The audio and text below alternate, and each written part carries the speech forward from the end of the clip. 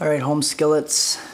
Um, got the first coat of paint on. You can see um, I have the uh, rough on the bottom where the bed liner's at and then the line to the gloss uh, like I said in the other video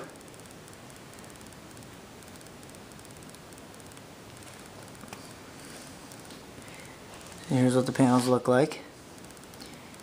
All finished up. Well almost finished. And then that's an, uh, again a rough spot where the uh, dashboard meets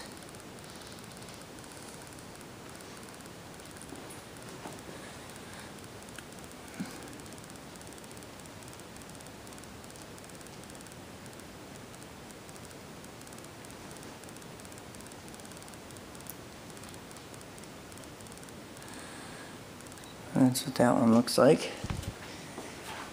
Here's the other one. Got a little bit of mess from the uh, bed liner. Uh, didn't really cooperate, but you can see who won the battle, I guess. Um, I don't know, maybe the bed liner won the battle. I don't know. But anyways, bed liner bottom. It's a little rough. That's how I intended it. Start on this side where it was masked off. Um, I'm going to brush a little bit of those chunks off of that one rough spot, but just to get an idea of what the panel looks like.